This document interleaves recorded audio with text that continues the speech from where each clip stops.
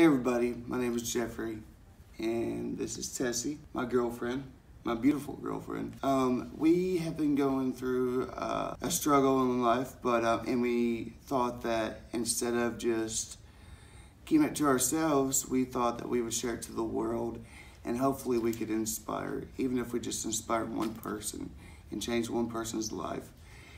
This whole situation that we're going through would be worth it.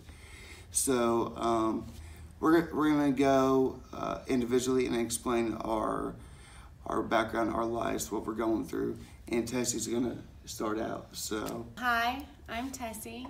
Um, I'm 33 years old and I'm a single mother. I have been diagnosed with cancer. It's not just any cancer, it's called rhabdomyosarcoma. It's a very rare cancer that was actually usually only found in children. Go figure that I would have a cancer for children. That's what I get for acting like a kid all the time, I guess. true, true, very true. So um, there's less than 20 cases a year, usually all children, and somehow God has chosen me for this. I got diagnosed last week, and I actually had premonitions about it this summer. I had these bumps that showed up on my neck earlier in May, towards the end of May, and they weren't quite this bad, but um, they were there. And my doctors did antibiotics and things like that to try to get rid of them, thinking it was just an infection. But once that didn't work, like I said, I started having dreams, premonitions um, that I was gonna have cancer, and that God wanted me to use this opportunity to glorify Him. So I took a break and got supplemental insurance because I am a single mother and I work full time. And um, just with my past situation, um, I knew that I would be in trouble if I had a huge financial burden. So I took that break and I really thought it was going to be something simple like thyroid cancer or something like that. But no, I am diagnosed with a very rare, aggressive cancer, rhabdomyosarcoma. And there's less than 9,000 sarcomas in the United States in a year. There's 50 different kinds, and my sarcoma, rhabdomyosarcoma, is actually one of the rarest of them all. And it's even rare for children and then throw that on top, I'm a 33 year old female adult. And there's only 20 to 30 cases per year. Of my sarcoma. And, and they're all children. And most they're most, of them are children. Yeah, and they're mostly boys. Um, so it's very rare, very bizarre. We actually got referred to a specialist here in Houston, Texas, which is where we are now. And I am 100% at peace um, with the situation and my confidence and my faith and my relationship with God. Um, I feel like He's chosen me to share this with everybody so that one, you can see how the experience goes, and two, you can see that God does perform miracles, and I hope that I know that I'm going to be one of those. Um, I have an eight year old son who I love dearly. I just don't have any fear here. The only thing I fear is God, and I know He's on my side. So I'm excited to get to share this experience with you guys. And we also uh, want to share that just because uh, you might be faced with something extremely difficult in life doesn't mean that your life is over. Um, Tessie is one of the most caring, generous, thoughtful people I've ever met in my life. And when she was diagnosed with this disease, she didn't stop living life. She didn't stop smiling. She didn't stop loving other people. And we want to show that um, you can still live your life and you can still have fun and you can still do everything that you used to do before you were diagnosed with cancer or before um, you're in a, a car wreck or before just anything difficult or, or something almost unbearable, Overwhelming. something very difficult to deal with. It doesn't mean that your life is over. And we want you all to come along for the ride. We want to show you. We're going to record every step of the way. We're going to show you everything that she's going Just through. because I've done some research on this and there's nothing out there. It's so rare that there's no research to, there's nobody to relate to. There's nothing out there for anybody. So I felt um, like it was my calling to share this with everybody. But that's not all. Jeff, tell your story. I don't want to make this this uh, this video about me because it's it's more about Tessie and what she's going through now because she's the the absolute love of my life and I don't know where I'd be today without her in my life. Um, so I'm just gonna make this short and sweet. I'm 33 years old. We were actually born 11 days apart. Um, we're both from Knoxville, Tennessee. Well, I'm, I'm, not from, Knoxville. anywhere. Well, I'm mostly from Knoxville. She was, she lived all over the place, but um, she's lived in Knoxville for for a great while now. Um, I'm single. Never been married. I have a little pit bull who is my son. She uh, sometimes gets jealous of, of the attention he gets. he but, treats his pit bull better than most people treat their children. uh, No well, joke. he's he's, he's my, a great puppy. though. He's my world. He's been through everything with me. Guys, I'm gonna share some stuff with you that um, I'm not gonna share the full story just yet, but I will tell you that I almost died five times in 2016. Um, the first four I'm not gonna tell you about just yet. In the next couple of videos, probably those will get shared. Um, but I will definitely share them with you but I will share one of them, and it's the most impactful one of my life. I was in a car wreck December 3rd of 2016. I was T-boned. Um, the lady was going 80 miles per hour. I was going 2 miles per hour. I was turning left. And she slowed down to 60 and hit me in my door. When that happened, I severed my aorta, which is the biggest artery in your body. I um, lost 80% of my blood. I had to have a blood transfusion, almost bled to death. I, I bled internally. I had a, a brain injury, a brain bleed, a brain hemorrhage, a stroke. I crushed every bone in my left leg. I have metal throughout my left leg. I crushed ribs.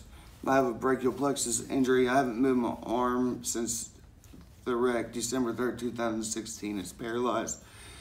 It's extremely painful. What happened was when I got T-boned, my neck went like that, which I don't remember the wreck whatsoever. Um, and but this is what the doctors told me. And my nerves severed from my spine, and that's why I cannot move my arm Temporarily. temporarily.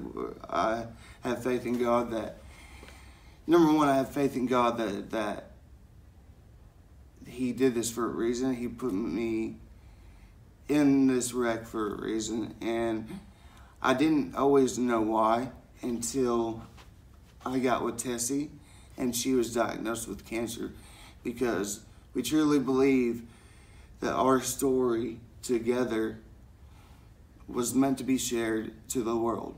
And we're meant to inspire people and show people that just because something bad happens in your life doesn't mean that your life is over with.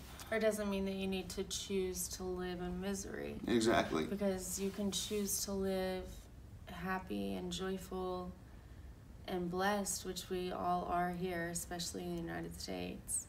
Um, and your quality of life is so amazing.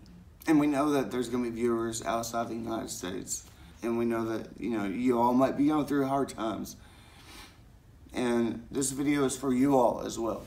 I had a one in a thousand chance of living. And they said if I did survive, I would probably lose my left arm. That's what they told my parents. He wasn't supposed to be able to walk either. Yeah, and they didn't think I would ever walk again. I walked three months after my wreck, three or four months after my wreck. I was in the hospital for 70 days, and then I went to rehab for another month. So total, about hundred days I was in the hospital and um, rehab center. I've had one surgery on my arm. They took nerves from the back of my leg. I have a huge scar, and they put it in my arm.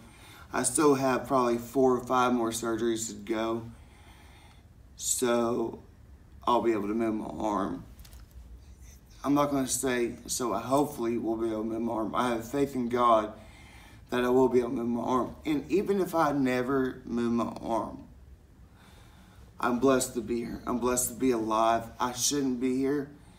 The doctor said I shouldn't. I'm a miracle. And if I can be a miracle, guys, and if God can save me, then He can save my beautiful girlfriend, Tessie. And He will. And He will. And we, we both have faith in God that we were chosen so we could share this to the world and so we can inspire and uplift and uplift all of y'all. And this channel is not going to just be our. First off, this isn't a sob story. We don't want anyone to feel sorry for ourselves.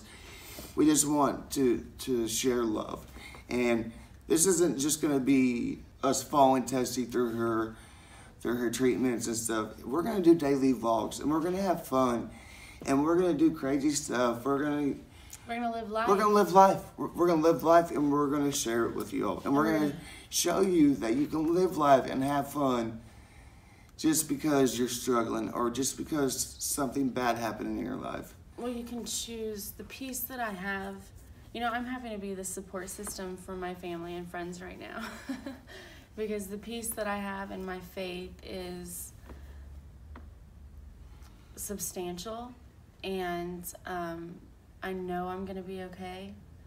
And of course, we welcome all happy thoughts and prayers that you can send to us, any recommendations or motivation or suggestions that you might have to help us along our journeys. But we do want to vlog, so feel free to follow us um, so that you can see, like Jeff said, that we're going to choose to enjoy this recovery process. I'm going to spend time with my son. We're going to make memories that last a lifetime.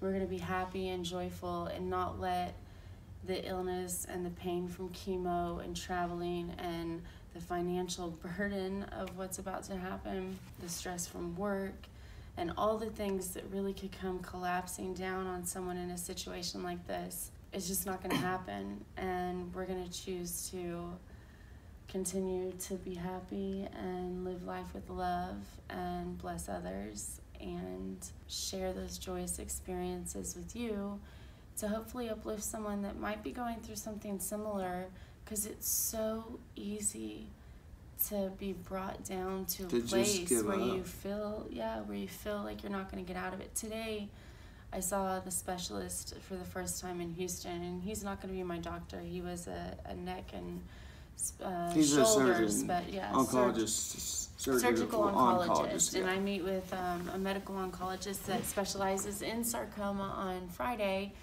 But today, and I don't think he intentionally did this, but three or four different times he said, "If you survive, if you survive," and I really feel like any person could have walked out of that office and completely just gave up. I just didn't feel that way.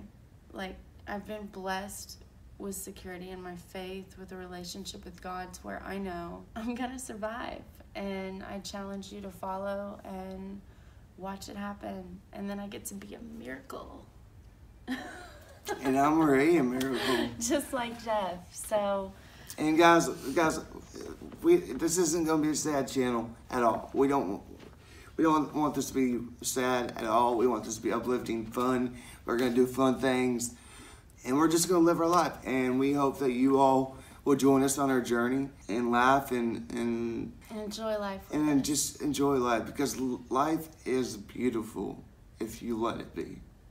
So, guys, um, with that said, do you have anything else to add? I don't think so. We love y'all. We hope that you follow us on on our journey, and we hope that we can inspire you all. So, Till next time. till next time.